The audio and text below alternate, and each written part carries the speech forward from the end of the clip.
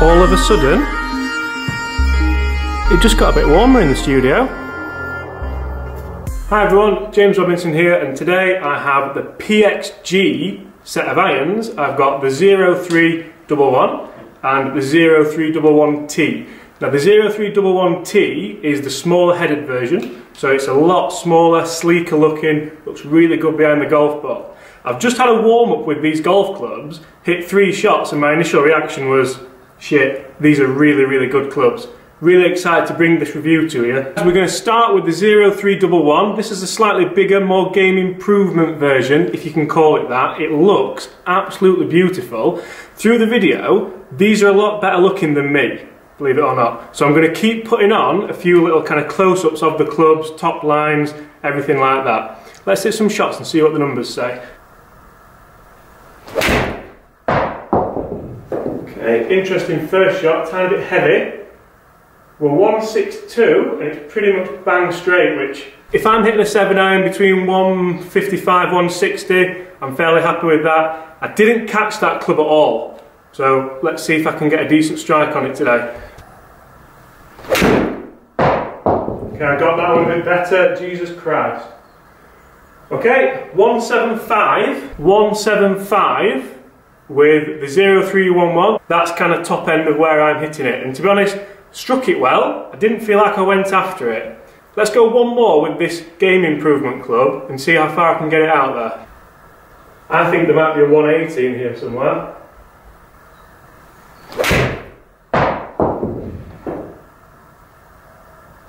One seven five again, absolutely bang on. So I've hit three shots there with this 0311.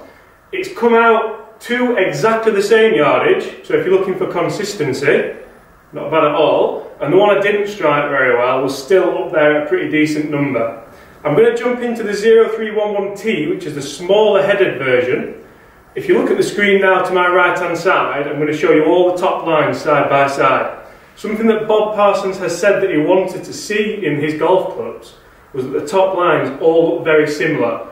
And I'll tell you what, I think they've done a cracking job with that. Let's see what the smaller headed iron's like. So looking down at this club, it looks absolutely beautiful. And like I said before, these irons are a lot better looking than myself, so we're going to have quite a few close-ups on there. This does look stunning.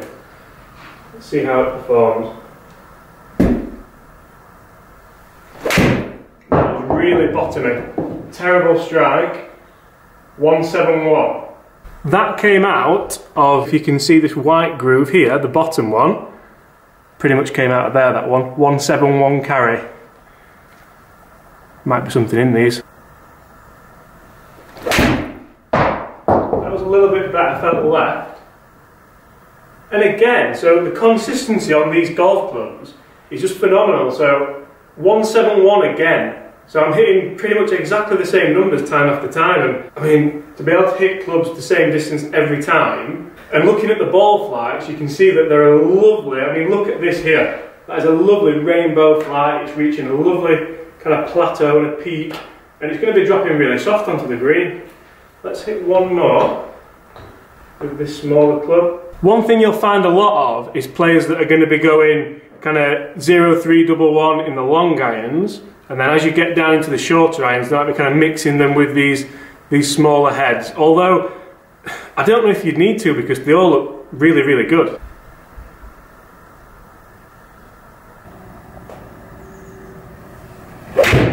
Toei.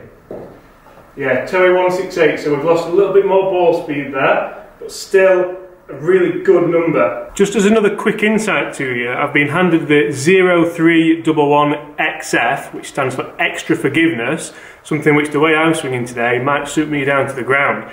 Let's hit a couple with this one and just see the differences between the 0311 and the 0311T, which was the tour version, the smaller head. But anyway, this is where the, the forgiveness and the hot face comes from, or the hot feel from the face comes from. Let's see what this extra forgiveness iron's all about thermoelastic, it even sounds hot, doesn't it? felt decent actually. 176, so that's the furthest so far by one solid yard. We would expect this one to go a little bit further. Really caught that one nice.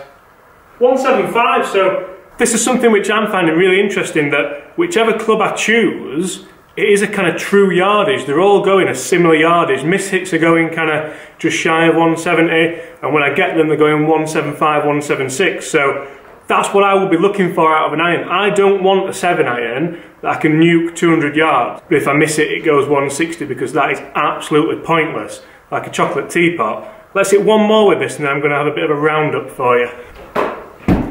So the XF head's got a much higher MOI, the weighting's further down in the head, and that's what's helping it kind of get that higher ball flight. The forgiveness aspect comes from the thermoelastic polymer that is in the face. I'm going to show you a close-up of a, a, cut open head now. I didn't do this myself because I'm not strong enough and I don't have the equipment to do so. So don't go chopping these open because they're expensive and people don't like it.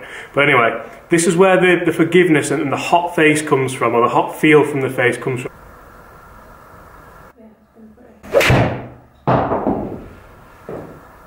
173. Really impressed with these so far. Fantastic golf clubs. Let's have a roundup. First of all, I want to talk about kind of the, the genuineness, if that's a word, genuineness. There we're going to go with it. The genuineness of the lofts. So kind of 31, 32. They're all around the same ballpark. So when you go into the XF, it's not like 18 degrees of loft for your 7 iron. It's not, it's not purely loft driven to get the distance.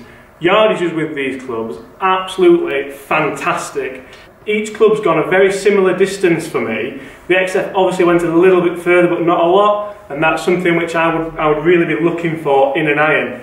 I could quite easily split the set and go 0311T low irons, 0311 middle irons, and even, it pains me to say, but 0311 XF, maybe 3 and 4 iron, because they are that good. They're really good. Something which I spoke to the, the rep about, these are unlike something I've ever hit before.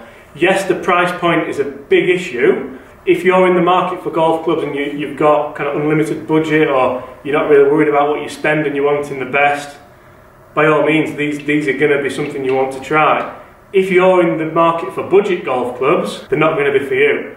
But needless to say, very, very impressed with these golf clubs. I hope you've enjoyed this review. There's a few more PXG reviews coming. Look out for the vlog as well for the day. All my social media links are just at the bottom of the screen. Thanks so much for watching. If you haven't done already, make sure you subscribe. I'm talking to you who is watching and you've watched every video from Australia. I've seen you. I can go on the diagnostics and see who's subscribed and who hasn't. I'm talking to you. Click subscribe. See you soon, guys.